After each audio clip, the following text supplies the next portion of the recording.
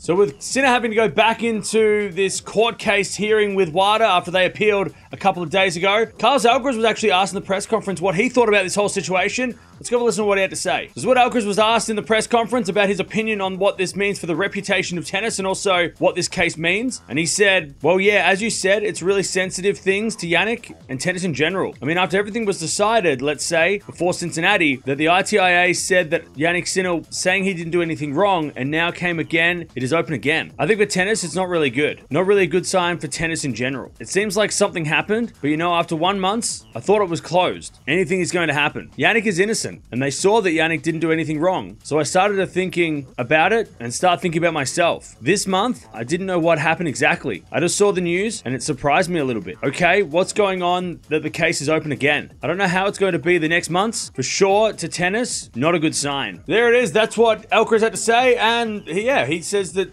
Jannik was innocent. He was proven innocent in that first case and that this is not good for tennis, and I agree with him. This is not good for tennis. I know some people are thinking, well, you know, we've got to get rid of Sinner and whatever, and that's fine if you don't, if you believe that's okay. But it's not a good look for tennis if he does get banned. I mean, the world number one getting banned for something like this would be bad for the whole sport. It would make the whole sport look bad. So let me go to the comments below. What is your opinion on all this? I, I tend to agree with Alcaraz. It's not good for tennis no matter what the outcome. I mean, it's such a dark story for tennis in 2024. Carlos Alcaraz asked in the press conference what he thinks about this new phase of the Jannik Sinner case.